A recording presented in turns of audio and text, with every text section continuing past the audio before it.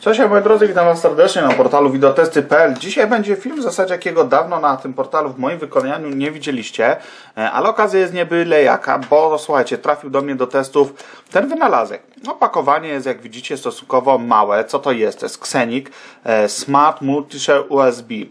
E, to jest nic innego, słuchajcie, jak takie urządzenie e, oparte tutaj oczywiście o interfejs USB 2.0 prawdopodobnie, ale oczywiście zgodny również z 3.0, e, który umożliwia nam udostępnianie na naprawdę wielu, wielu urządzeniach, prawie na wszystkim, co ma port USB, naszych zasobów z tabletów, smartfonów. Niestety, ale tutaj od razu nadmienię, dużą wadą dla mnie tego urządzenia jest fakt, że właśnie Xenix Smart Multishare USB nie wspiera systemu Windows Phone. Ja się również pytałem i na razie w planach niestety e, wsparcie dla tego systemu nie jest przewidziane, a szkoda, bo to jest moim zdaniem najlepszy system mobilny właśnie na smartfony i tablety. E, no i zyskujący dużą popularność. No natomiast e, też nie ma co się dziwić, no bo tutaj iOS czy właśnie Android opanowały jak na razie ten rynek, chociaż ich udziały się troszeczkę kurczą właśnie na rzecz Windows Phone.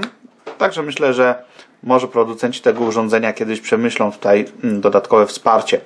E, co to jest w ogóle za urządzenie, jakie ma cechy? Przede wszystkim przenośny. No tak, no całość w, tutaj w formacie niewielkiego pendrive'a, tak, myślę, że to może coś takiego być, zaraz sobie rozpakujemy, zobaczymy.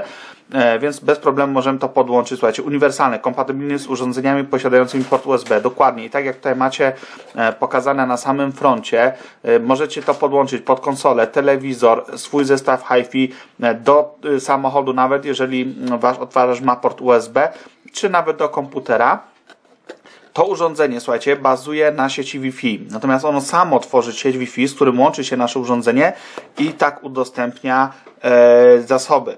Co ważne też, mamy tutaj możliwość odtwarzania plików wysokiej jakości, czyli jeżeli macie nagrane na przykład jakiś e, film, tak, w rozdzielczości Full HD, tutaj 1920 na 1080 pikseli, e, to również to urządzenie jest w stanie taką szybką transmisję danych tutaj sobie, e, że tak powiem, poradzić, obsłużyć. Ok, rozmetkujemy to.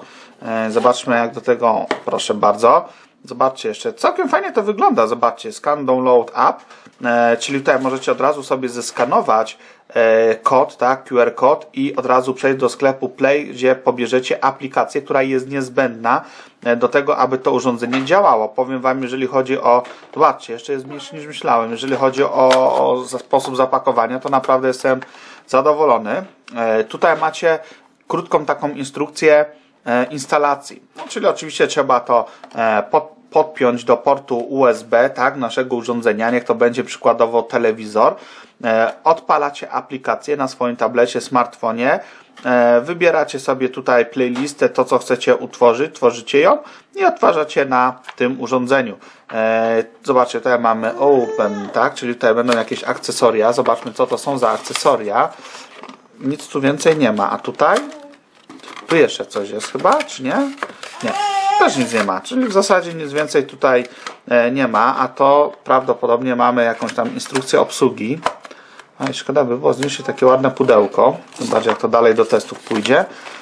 Eee, Xenix Smart Multishare USB, dokładnie szybki przewodnik, czyli tutaj macie jeszcze raz e, wytłumaczone co i jak macie robić. Również macie e, QR kod jeszcze raz do zeskanowania, po prostu e, do pobrania aplikacji. Natomiast ja już ją wyszukałem sam w sklepie tak, na tablecie, na którym urządzenie będzie testowane. Także tutaj naprawdę no, nie ma co dużo e, tłumaczyć, więc zobaczmy samo urządzenie.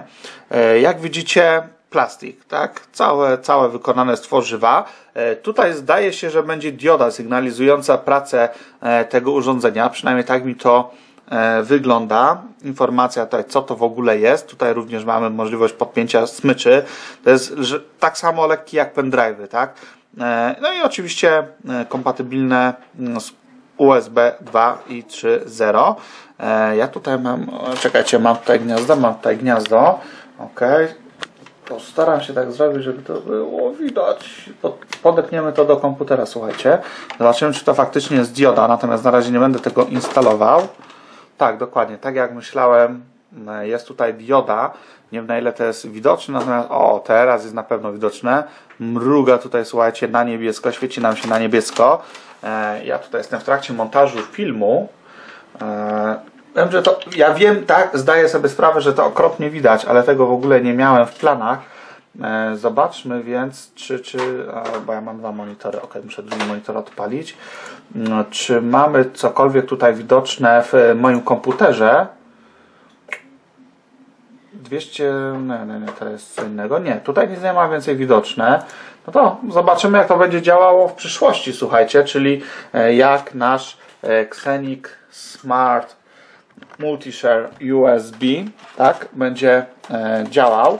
Urządzenie naprawdę e, ciekawe. Co ważne, jest dostępne w Polsce i tylko jeszcze w kilku krajach świata, także to nie jest ogólnodostępne urządzenie dla wszystkich, natomiast my mamy to szczęście, że tutaj e, bez, bez e, problemu właśnie producent, czyli firma, firma Arcas to na naszym rynku urządzenie tego typu wprowadziła. To może być bardzo ciekawe rozwiązanie. Jeżeli macie na przykład dużo muzyki na swoim smartfonie, tak, a wiem, że wielu z Was ma, ja też trochę tego mam, czy filmiki i na przykład jedziecie sobie samochodem, nie macie muzyki na płytach, tak, e, nie macie osobnego pendrive'a, to możecie mieć po prostu coś takiego i tą muzykę udostępniać i słuchacie jej sobie komfortowo w samochodzie, tak, na dobrych głośnikach, a e, nie na przykład bezpośrednio z telefonu. Moi drodzy, to by było na tyle, jeżeli chodzi o to rozpakowanie. Ja Wam dziękuję za uwagę, no i do zobaczenia w następnych filmach.